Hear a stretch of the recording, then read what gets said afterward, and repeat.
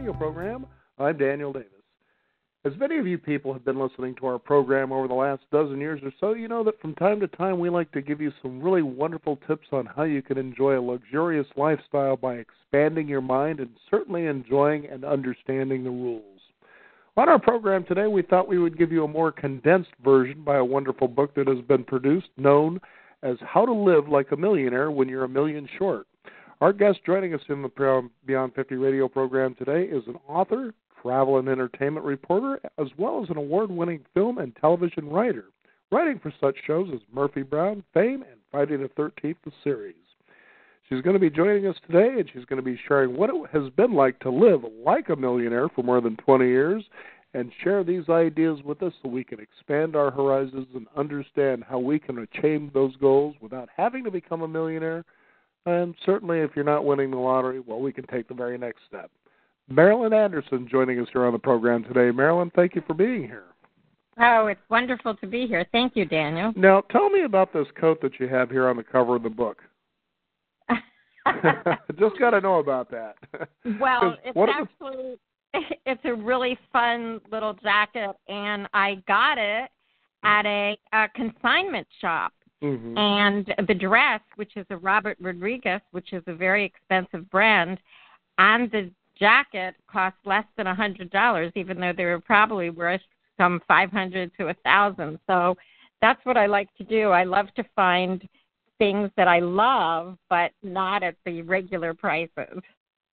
You know, and I thought that would be a great place to start. Uh, I remember years ago, as I first was breaking into radio, there was a journalist out of New York, and I know that you've got a lot of living experience in New York, and we'll dive into some of that in a minute, especially when it comes to theaters you know, and going to see plays and musicals and the like. But her name was Ann Powers, and you know, very well known journalist out of New York, and she was writing about her bohemian lifestyle. And uh, what was funny about what she was talking about is I thought, well, you know, here's somebody who obviously is traveling around promoting a book, so she must be doing pretty well financially. What was interesting is during the course of the interview is that she talked about how she actually shopped for all of her clothes in places like a thrift store, Salvation Army, Goodwill, you name it. But she says the big reason wasn't necessarily to save money, although that's a, a pretty good motivation, but it was also because it was a statement as to going against the idea of uh what do you call that sweat labor you know that you don't buy your clothes brand new because that's sort of what you're contributing to but she says also you just find fantastic deals. And what I like about your book about how to live like a millionaire is we're not talking about cheap. In fact, that seems to be kind of a sin word, as you say in your book, but it's more of finding value and then finding it for the best possible price. Would that be an accurate statement? Yes, and also finding things that you love, either things you like to have or places you'd like to go, things that you enjoy and will bring more fun into your life but not having to be able to uh, break the bank with them. Absolutely. Now, you actually started off in college, as I understand, uh, studying biology. Was that correct? oh, yes. no, yes. you, My... then you become a TV writer for Friday the Thirteenth. So I think there's kind of a correlation there.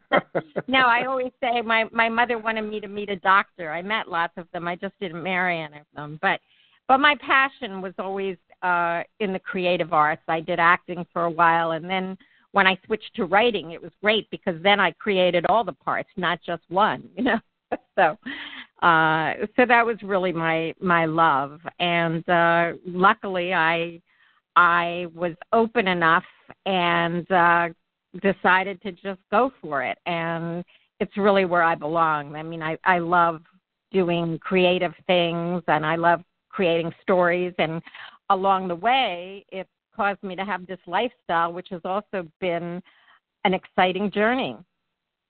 Well, there's no doubt about that. You not only share a lot of great stories about your own travels and your experiences, but also those of others. Now, as we were talking about at the beginning of the show with the coat, let's talk about fashion because certainly a lot of people want to feel, especially when the Oscars are rolling around, boy, I'd sure like to wear that dress, or I'd like to be seen on the red carpet, you know, wearing that. Tell us about what you share in your book where people can kind of open up and expand their minds, as you were talking about earlier, when it comes to fashion.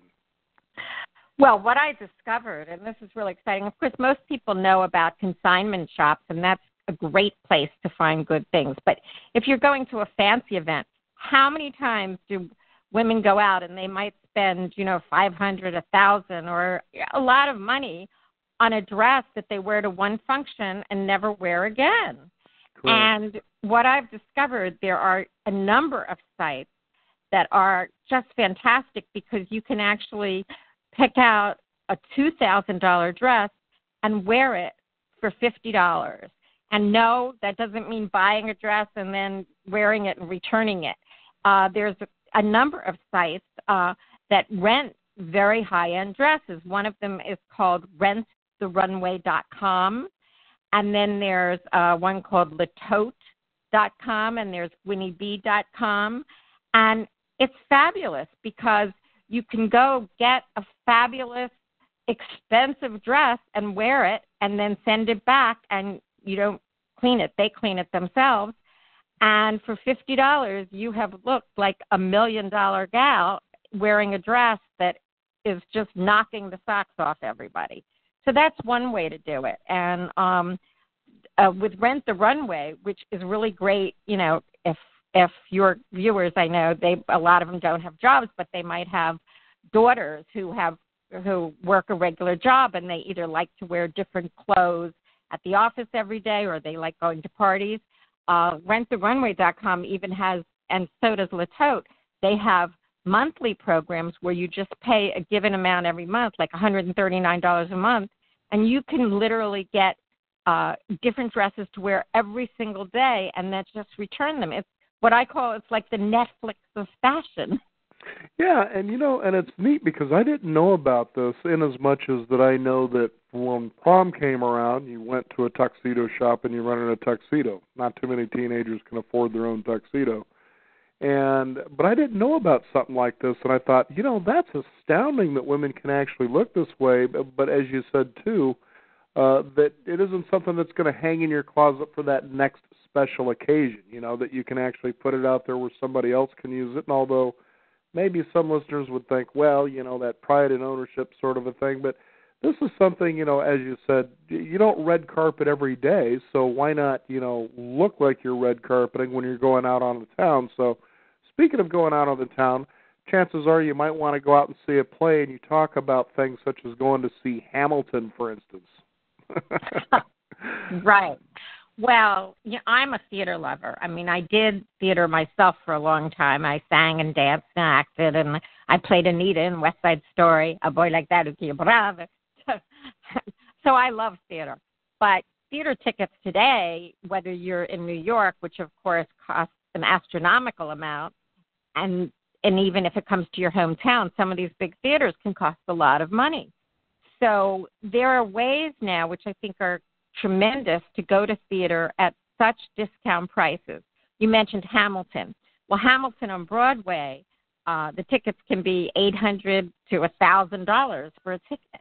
Yeah, but, that was a hot show too, especially that it won all the awards that it did last year as well. So yeah, but they actually have lotteries for shows like Hamilton, and Hamilton's happens to have one of the lowest prices. They have a digital lottery, and if you win the digital lottery, you get a chance to buy two seats for the first row at $10. And they do this for every single show. And the good news about Hamilton is that when it travels to another town, so when it comes to Portland, for instance, they will probably have the lottery there too. So, um, so it's good to know. And other shows like Wicked and the Book of Mormon and Rent and uh, a lot of the shows on Broadway now all have lotteries. And the lotteries, uh, they used to always be in person, so you'd have to go down to the theater two hours before the show, put your name in the hat. You don't have to wait in line. You just have to get there like 10 minutes before they pick the numbers. Uh, you put your name in in the bowl, and then they would call out 20 to 30 uh, numbers, and whoever number was called got to buy two tickets for generally the first row. Uh, some of the shows still do the in person lotteries, but a, not, a lot of the shows now are doing digital lotteries.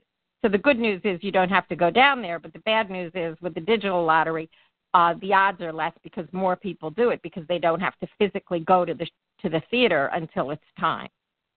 You know, and I was kind of wondering too, as you were talking about that, especially as I was reading it in your book, is that you hear about these shows. Let's just say like Hamilton, you know, sold out for eight straight weeks or ten straight, however long it seems to be sold out. But the truth of the matter is that not every night are there going to be full seats unless you can create a way for that to happen. You know, I mean, eventually it kind of peters out just a little bit where there'll be some empty seats, and the theater would rather fill a seat maybe at a more economical price than to have the seat empty at all. Because after all, think about the excitement of knowing that you're going to a play that's been sold out for 52 straight weeks. Well, there was a reason we were able to do that. Have you found that to be kind of the case too when it comes to theaters? Well, what the theaters do in that case is they have what's known as rush seats, and um, a lot of shows, again, when they travel or sometimes if it's a local theater, rush seats are seats that are not filled, and at the last minute, uh, sometimes it's the morning of the show, oftentimes it's before the show starts, they will uh, offer at a lower price uh, tickets to the show for seats that are left, and that's the rush seat. And uh, then some theaters, some local theaters, also have a pay what you can night. And uh, I think there's theaters in Portland that do this. There's one night of the week that a theater will have a pay what you can because they like to offer arts to everyone, not just people who have big budgets. So uh, check your local theater and see uh, if they have a pay what you can night, and you could pay ten dollars or five dollars or even one dollar and go in and see a wonderful show that other people might be paying thirty, forty, or fifty dollars. And you might even also get the opportunity at some of these theaters where you get to meet producers or the people that were involved in the writing of the play, and, and even actors. And you talked about, you know, that um, I guess it was meeting Tim Robbins at one point, right? right. Well, in in LA, there's a theater that's actually owned by Tim, and they have a pay what you can night, and he he's often at the theater, and so I I met him and talked to him. And uh, another way to do it is uh, if you love theater and can't afford the prices all the time, uh, sign up to usher. Uh, at a nice venue, and you'll get to see the shows that are there. And sometimes, if you usher, uh, you can not only see the shows for which you usher, but they'll let you come on other nights to see other shows. So that's another way that uh, a lot of friends of mine in different cities, both here in LA, I have a friend who does it in Texas at a big theater, the Long Center, and he ushers, and that way you do meet a lot of the people who uh, who are part of the theater staff as well. In fact, a lot of uh, college students do this, and sometimes they get paid to do it uh, but they also get a chance to meet people, and if it's their uh, desire to go into show business, sometimes they can get uh, recommendations from them or referrals, and it's a good way to, to, to get in to know the people there and to possibly uh, learn about the theater from a different side of things. And you know, Marilyn, as you uh, say this now, I wanted to encourage our listeners to listen carefully to your message here because it certainly resonates through the book certainly we're first going to want to pick up how to live like a millionaire when you're a million short because you're interested in things that you're passionate about. You know, we're talking about like dressing, walking the red carpet, and going to see a great play like Hamilton for what seems to be pennies on the dollar, if you will. Um, but the big thing is, is that your book also starts talking about how you start co-participating in things, as you were saying, become an usher, maybe even just volunteer as an usher, but that gets you in where you can enjoy these sort of things. But the big thing that I'm that I'm pointing out is that you're beginning to give your time and your energy uh, in these directions where the rewards are phenomenal. Now, to give you an idea personally, uh, one of the things you were talking about was uh, PBS. Believe it or not, that's how I actually broke my chops into radio nearly 20 years ago. Oh and, wow! Yeah, and it was really, really a great opportunity. I just happened to be, you know, quick story. I was at a a meeting at town hall. It was for Toastmasters, and I was breaking into it. And there was a guy that stood up and said, "I'd like to be the world's greatest radio interviewer." And at that time, I thought, you know, it's about time that I start pursuing my passion here. You know, I've talked about how I wanted to be in radio and, and whatnot. And so I went up and I talked to him and I said, "So you're talking about being a great radio interview? Do you do radio somewhere?" I figured, you know, this door kind of opened right in front of me here. And he says, "Yeah, this is where I do it. Why don't you go down and talk to this guy and volunteer?" And I have said on this show over and over and over there is nothing greater, no rewards greater than volunteering because doors will open in ways you couldn't even imagine.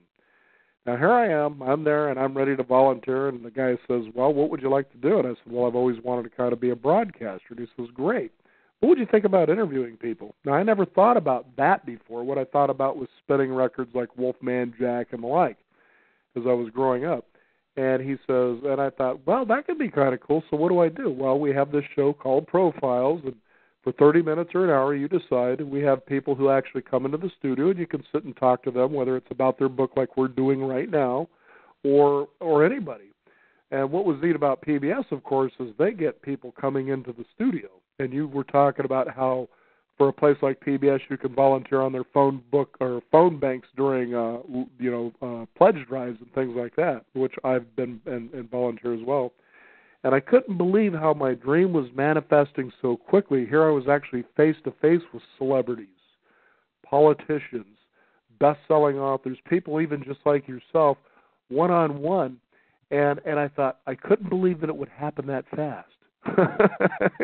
you know, and and here I'm on your, uh, for instance, your uh, Facebook page here, how to live like a millionaire when you're a million short. And I'm taking a look to, and thinking about people who want to travel to exotic places. And we have this one. It's called Inhabitat.com, where you say Italy is giving away hundreds of historic castles and villas for free. Tell us a little bit about that. well, that was a pretty amazing one, yeah, because I guess they were a town had lost a lot of its uh, residents and they want to find new residents. And so they decided they would they had all these fabulous castles and homes and they said if people will come and live here we'll give them the place for free. They just have to come to our town and establish residence. And i i love your story about what you did daniel because that's what i found in my life is that being open to the possibilities uh and and not taking no for an answer when you want to do something and people say you can't. And just you know knowing some of the things that you might want. I mean that is actually how i became a travel reporter because i had written my first book never kiss a frog a girl's guide to creatures from the dating swamp and i was going across the country doing um some presentations and some interviews. And i realized if i went on my own nickel i would probably be staying at Motel Sixes or Best Westerns. And so I decided, well, what if I go and am able to stay at five star or four star hotels? And so I thought, well, let me try to write about hotels and restaurants. And I talked to some travel reporters, and they all said to me, oh, no one will ever host you at a hotel or give you dinner if you're not writing for the New York Times or for Condé Nast or whatever. But I didn't listen to them, and I sort of started my own uh, travel column. And it turns out now I've been all over the country, staying at fabulous places. I stayed at the uh, Monterey Hotel and Spa in their uh, honeymoon suite. I stayed in New Orleans at the Ernest Hemingway suite. I was on a trip a five star trip to Taiwan. And the bottom line is, I didn't write for the New York Times. I didn't write for Condé Nast, but I found a way just to start my own little column. And that's what's wonderful about today is you can take your interests and your passions and either start blogging about them or you can go online and start a YouTube channel.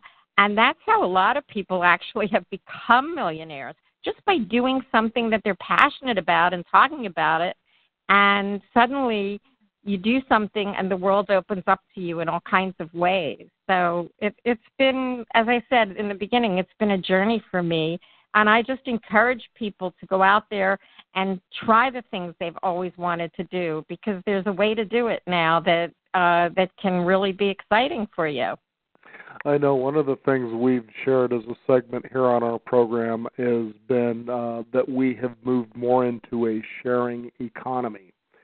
And uh, one of the uh, ways that this is totally true is let's take a look at how Uber, for instance, has changed taxi services. I mean, phenomenally. You know. Oh my gosh, yes. And so taking a look at that now, just imagine that you're somebody out there that wants to drive a Bentley, but unfortunately you didn't. but the fact is is there are exotic car clubs and things like that out there where people can actually have these experiences. So for our automobile enthusiasts, let's talk a little bit about that.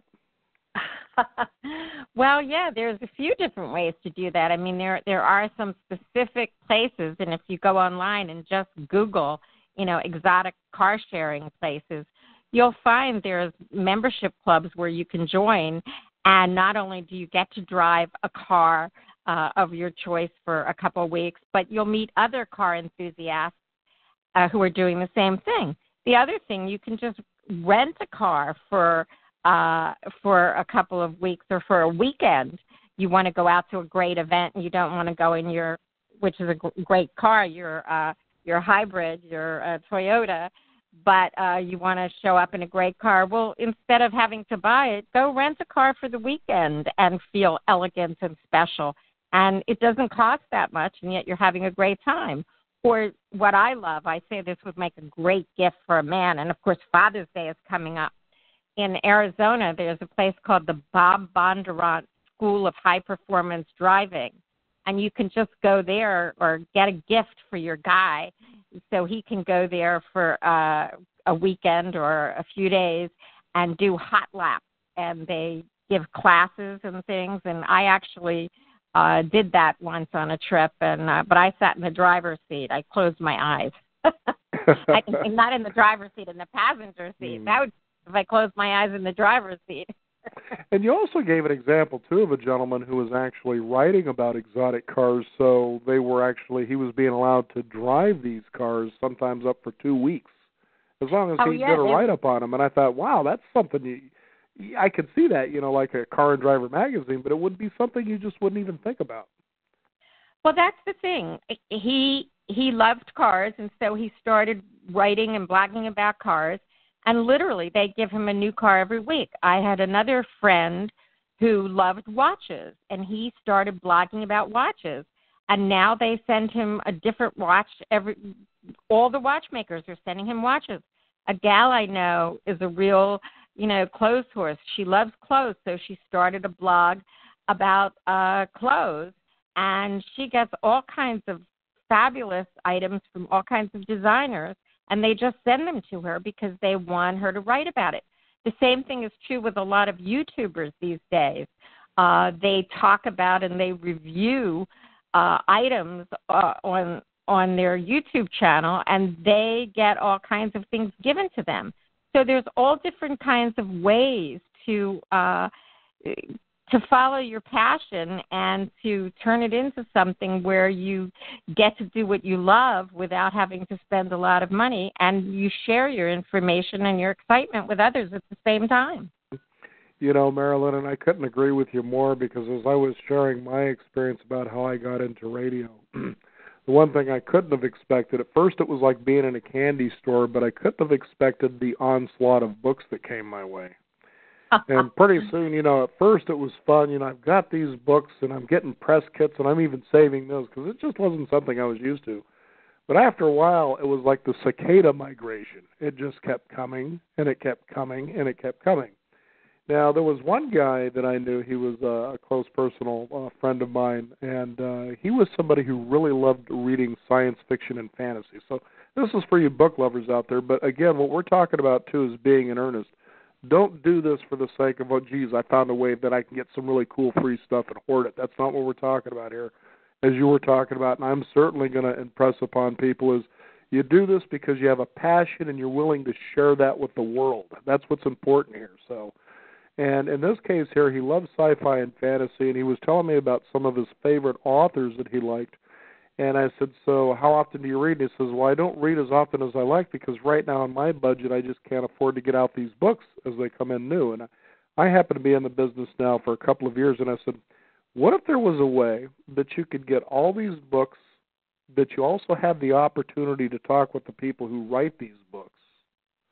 And maybe in time you might make a little bit of money doing it. He says, Really? You can do that? And I said, okay, if you follow exactly what I tell you to do, and you do this in earnest, again, do this for the good of the whole and not just because you get free books, you'll be blown away by this. Okay? So I showed him the steps, and one of the book companies was Tor Books. These are the guys that that publish the big guys if you're into sci-fi and fantasy. And uh, so certainly I showed him how to go about the process, and I brought him into PBS, and I said, "Here's I'm going to show you how to set up a show." Now this guy went on, and I finally we kind of lost touch with each other after a while. But you just seen this guy light up his enthusiasm, like this dream that he didn't even realize was coming true. And he began doing his own little show where he was doing book reviews on sci-fi and fantasy, and interviewing these people, and in some cases actually meeting them face to face. And he started earning a little bit of money doing just that very thing. You know, he's not you know making a living doing it, but it was something he just loved to do, and he was building an audience. And that's a lot of what we're talking about here today, aren't we? Yeah, it's really following your passion and also being open to the possibilities and and if you it's the same thing I I feel like about charity events.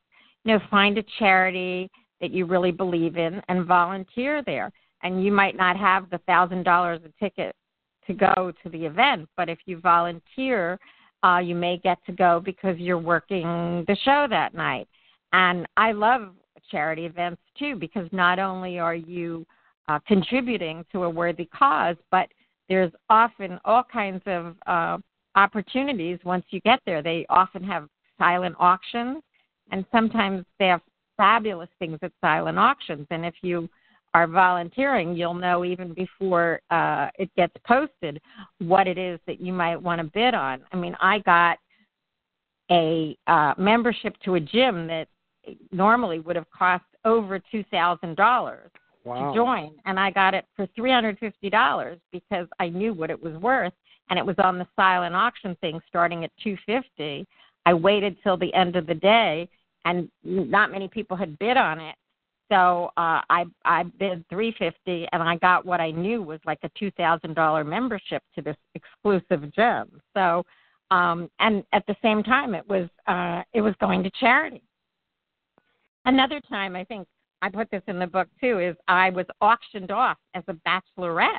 hey, there you go. for for um, for the American Lung Association, and that was such such fun. I have to tell you I had a very wealthy girlfriend who used to go uh, all the time to Canyon Ranch Spa, a very exclusive spa that cost like five thousand dollars for four days.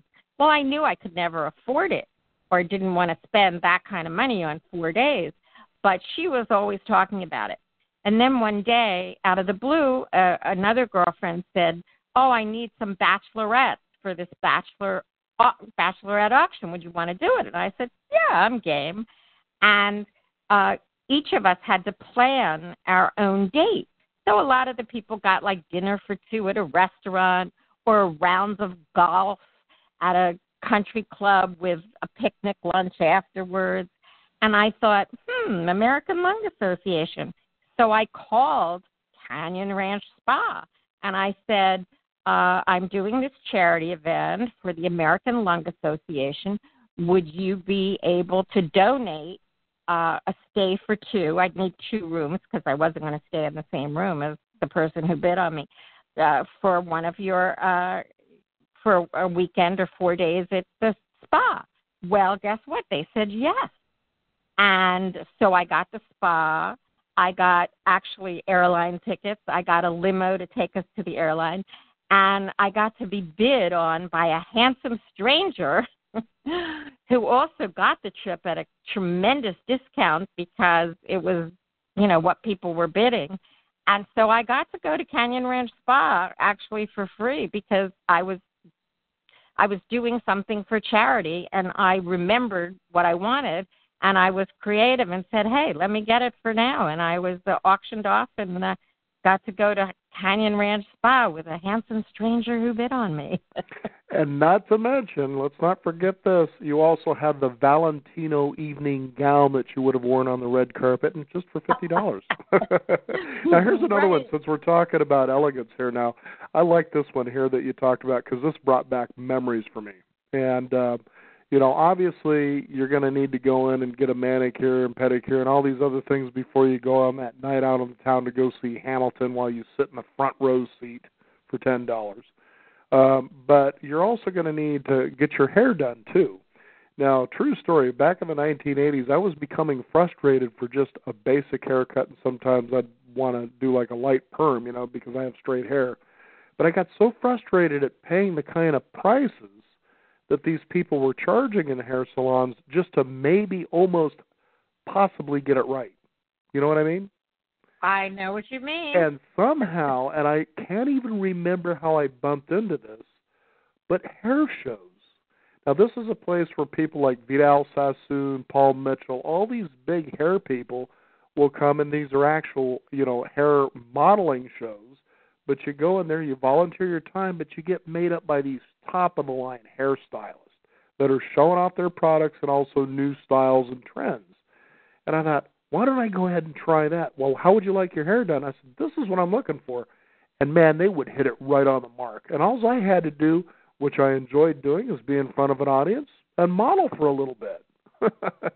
but you talk well, about that hair volunteers needed.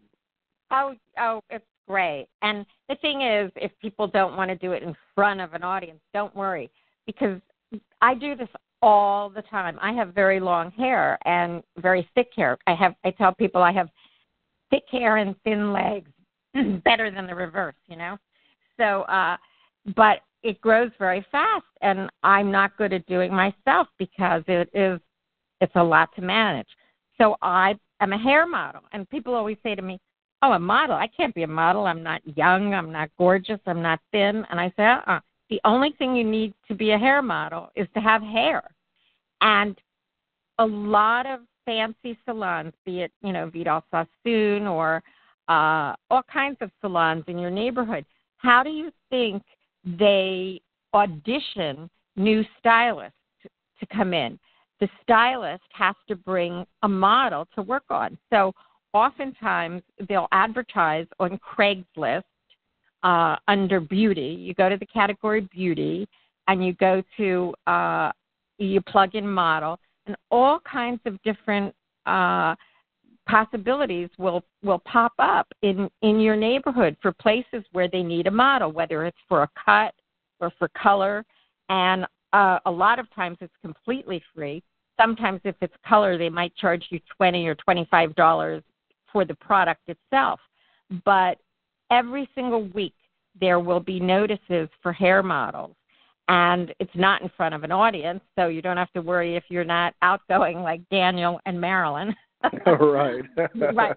Because it'll just be in the salon. And uh i've had just in fact just this week i got my hair cut as a model at a uh at a salon uh eden by sassoon. And the gal did a fabulous job and it was totally free i gave her a tip but uh, a cut like that would have cost me $150 at that salon regularly, and I got it for free because I went as a model.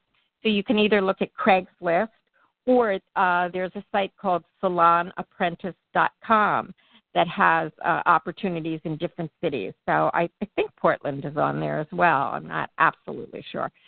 So, um, and another way to get uh, good prices for getting your hair done is to go to Groupon.com or LivingSocial.com, and they always have hair salons that are uh, offering discounts. And what I do with those sites is I wait till they have uh, discounts on their discounts because they'll send out emails. Oh, today everything is 20% off or 30% off or maybe $10 or $30 off. So you can uh, go to regular salons that are just looking for clients and get a, a discount that way because uh, uh, being a woman and even being a man, if you have great hair, it can be expensive going to get it done all the time. Absolutely, and like I said too, it was a lot of fun doing it because they would usually do them three times a year. It was like I think in the spring, summer and fall. So I would always look in the paper, and that's where you would actually find. This was back in the 1980s. Now we've got the internet, right. but right. what I loved about the experience, it wasn't just that I knew I was going to get you know that light perm that I liked, but I also enjoyed the modeling, just like you enjoyed performing as well. I, I enjoyed doing that. In fact, I have a good friend of mine who has been doing the bridal show here in Portland for the last 40 years, and his oh, was wow. the premier show. And one day we we kind of ran into each other through a, a business relationship, and he says, "You know, uh this friend of mine is looking for models for my bridal show," and I said, "Really?" And so I was involved as a model for the Portland Bridal Show, so I got to feel what it was like to wear a Scottish kilt. Ah. Boy, was that sharp! And then you know, run this down the runway in front of two thousand people. But what I was going to get at with the like the the hair situation, the hair modeling was what I really enjoyed the most about it. Besides you know the hair design, was the people because these would usually be a course of two days. It would be a Saturday and then a Sunday, and so you'd build these relationships with people that were also doing it too because you had a lot of time to kill in between shows. I mean, a lot of time. And so you you, you meet these just these neat people and you build relationships and and that's what makes all this so much fun. I I totally agree and I I also love that. In fact, I'm looking to start doing a lot of speaking engagements about how to live like a millionaire when you're a million short because it's so gratifying you know being in a group of people and giving them wonderful information and and having them enjoy what you have to say and appreciate it and and get to know new people. So that's what i'm also hoping to do is start doing speaking engagements across the country and and sharing my knowledge and information and having fun with a lot of people at once like like i'm able to do by doing your show daniel is spread the word and hopefully uh, give people lots of uh, lots of ideas and ways to uh, improve their life and have have have more fun and enjoy life and again not not uh, have it break their break their wallets. and not only that, but Marilyn's actually being modest, folks, because uh, what she's really saying is she's about to step off of mainland onto a ship and become a speaker on a cruise ship now we've covered the exotic hot rod. We've covered certainly the red carpet gala gown. We've certainly covered the the wonderful hairstyle, so that you can sit front row to see Hamilton for ten bucks. And this is all affordable. In fact, what we're talking about here could run you maybe $150 for the night just for all this. But speaking engagements and cruise ships, everybody dreams of going on a cruise, and believe me, we've talked about cruise ships on our program. And I mean, this is an industry that is huge, which means they also have a lot of huge empty spaces for people, maybe like yourself, who can find a way to get on a cruise and maybe not only be put up on the ship, but also even make money, maybe even a really good living. Let's talk about that.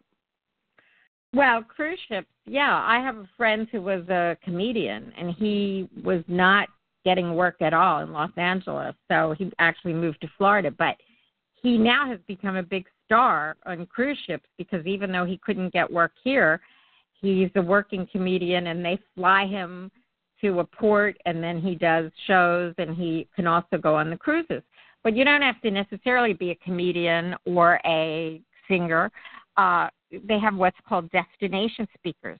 So if you have a favorite topic, if you know about history, if you know about crafting, if you know about jewelry making, you can apply to be a destination, uh, a, a uh, an enrichment speaker on a cruise and give a talk and get to get your your cruise for free and uh, or a destination speaker if you know about a certain place and you can tell people about it that's another opportunity and then for the regular working people of course they need uh, hostesses. They need, um, if you're a good ballroom dancer, particularly men, because a lot of women go on these cruises and there's dancing. So a lot of men who are good dancers go on and become uh, uh, companion dancers for some of the women. So there's all different ways to do it. Also, um, reverse cruises are a lot cheaper than regular cruises if you go on the cruise that's taking you back. And I just recently heard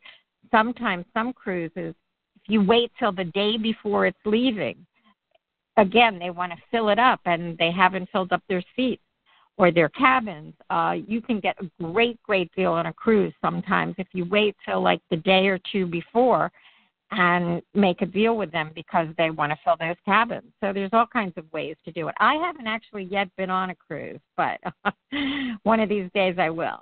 well, it sounds to me like your speaking engagement's going to get you there.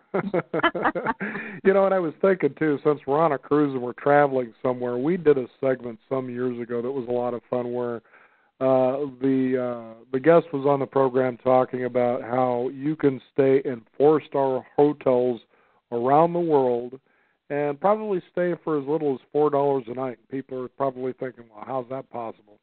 He says, "But but here's a caveat. It's going to take your willingness to be very very adventurous."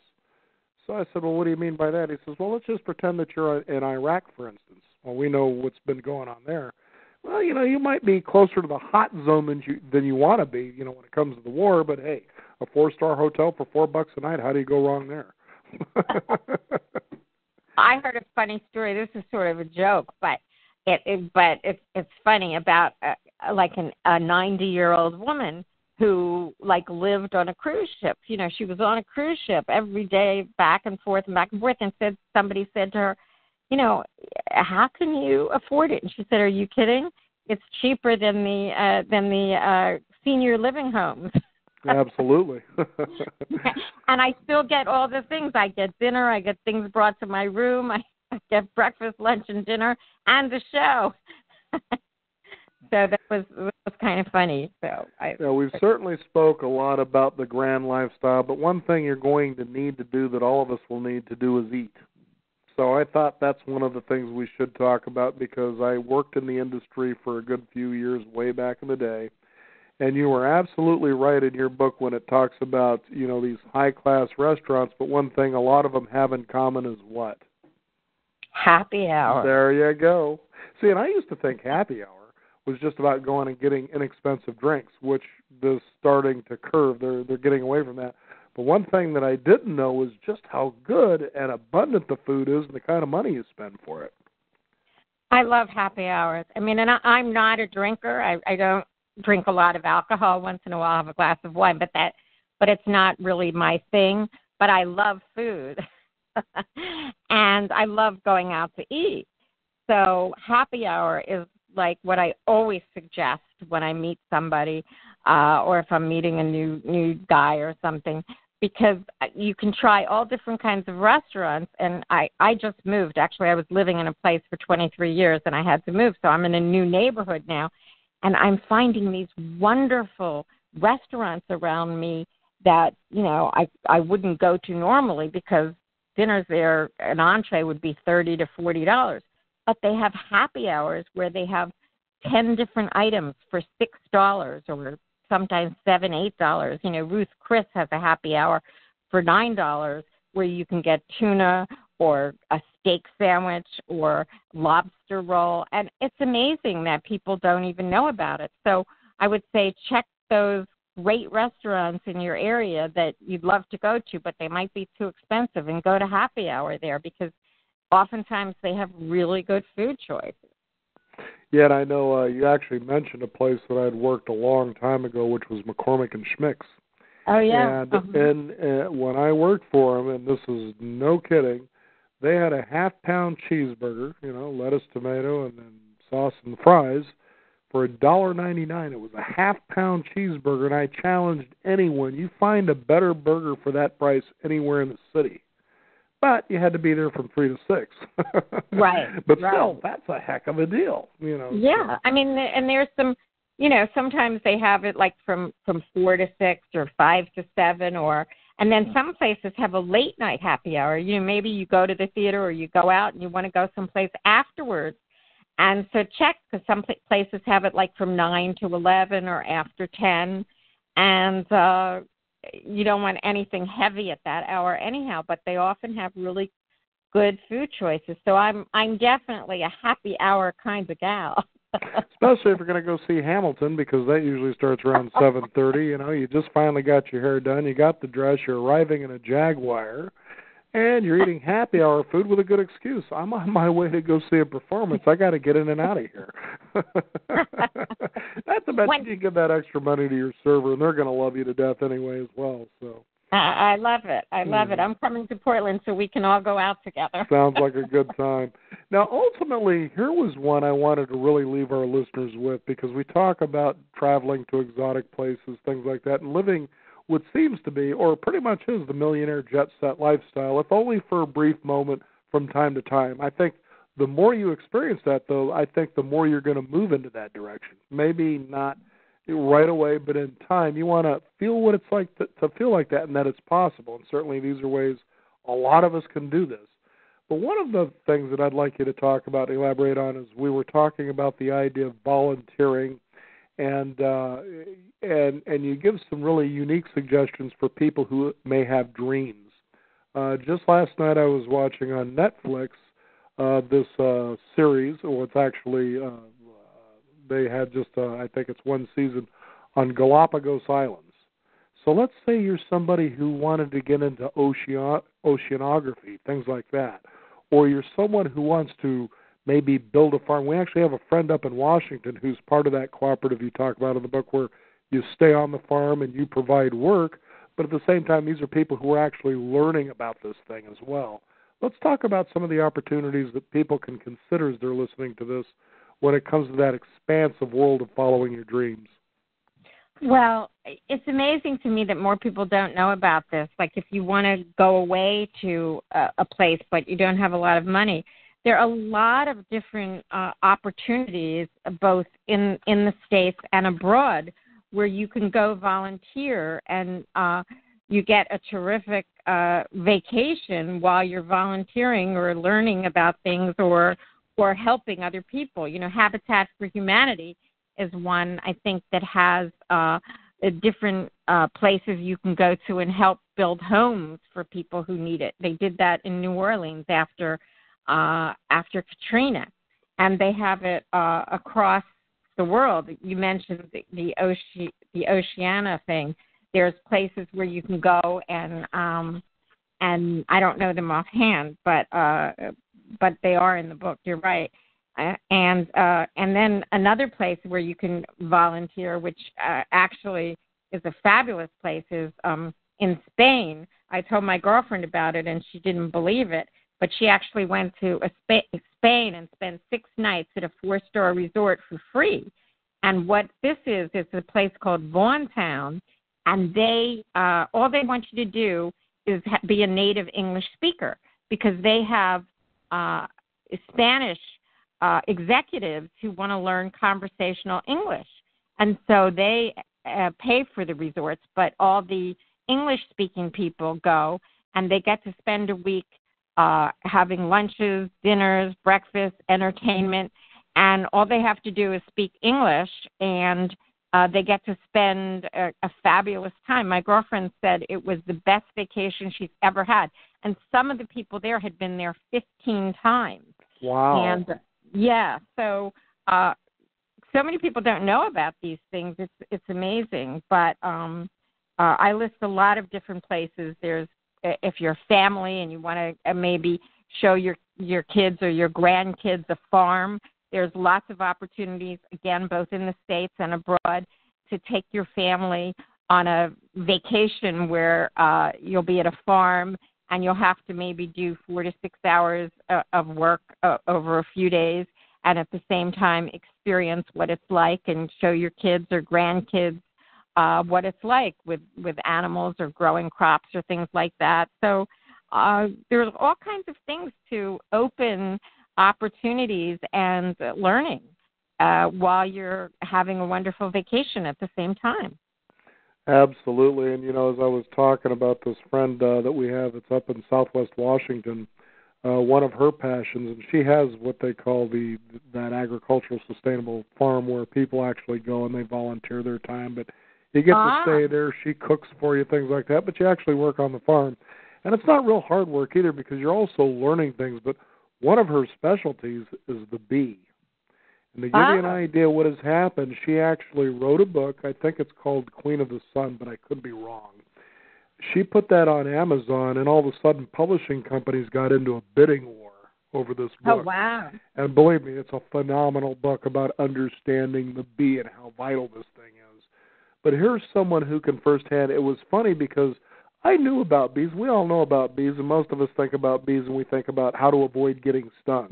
but right, when you go right. and you learn from her and you see these creatures and you see them the way she understands them and she shares this, you look at the world in a completely different way. And that's certainly what your book helps people to come to grips with. You don't need to win the lottery and sit there and wait and dream that you'll have enough money. We're showing you guys out here think about changing and breaking the rules or at least understanding how to play them better and you're going to find opportunities you could just never imagine. What would you most like to leave with our listeners here today, Marilyn? I think it's just, you know, open your minds and to new possibilities and enjoy life and uh you can do anything you want to do really if if if you if you do these things. And um, also, I want them to visit howtolivelikeamillionaire.com.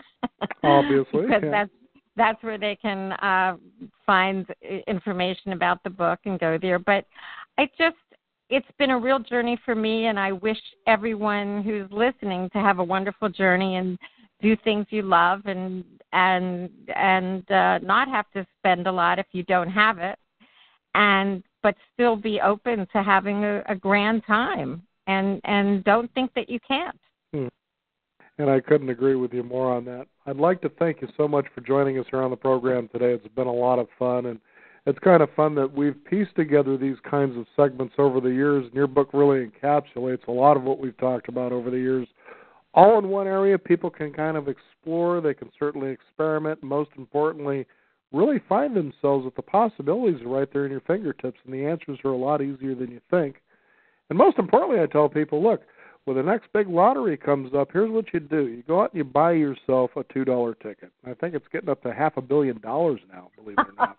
now think about this. Now, now if they'll just do this exercise, and I, and I believe you might even agree with me on this. Sit down with that ticket in front of you, then get yourself a legal notepad or a spiral notebook, whatever, and write down everything you believe you would do with this money as if you've already won it. I mean, the ticket's there, so the possibility now exists. Would you agree? I love that okay. idea. I and, love and it is. that You idea. get all those dreams on paper. This is what Tony Robbins, and we know who he is, self-help uh, guy that helps coach people to achieving their dreams. He says this is what you call capturing. So you capture all these down. Right now, you've got that lottery ticket that's showing you it's possible you could win this money. Okay, it's a possibility right now. Write down everything you've ever dreamed of doing, because a half a billion dollars is certainly going to achieve pretty much all of that in ways. But now, if you don't win, you've got how to live like a millionaire sitting in front of you, and you can actually achieve all these things in ways love that you could have I never imagined. Marilyn, I'm going to do that tomorrow. I, you bet I'm doing it, but I do that every single time, and it's amazing, you know. And you and, and it's amazing what you start thinking about. You get past the things you want, and that's actually a very small list. You know, Mm-hmm. it gets bigger when you start thinking of what you can do for others. You know, and that's what the amazing thing is. That's what I like about your book, How to Live Like a Millionaire. Is you talk about that consistently about how you just commit your time, and you'd be amazed how rewarded you are for that. Yeah, well, thank you so much for having me as a guest. It's been wonderful talking with you, and I'm I love the thing with the lottery ticket. Yeah, it's There you fantastic. go. You can post that on your Facebook page, How to Live Like a Millionaire When. You're a Million Short. Marilyn, one more time, go ahead and give out that website. It's howtolivelikeamillionaire.com. Doesn't get any easier than that. Marilyn, thank you for joining us here on the program today. Oh, thank you so much. It's been great. You bet. We want to thank you, the listeners out there, for joining us. You can also discover more. Visit us at beyond50radio.com. That is the number 50. We do encourage you to sign up for our weekly e newsletter so you can stay up to date on what's going on in the world of Beyond 50 as well as upcoming programs. I'm Daniel Davis. Thank you for joining us. This is the Beyond 50 radio program, and remember, live your day past halfway.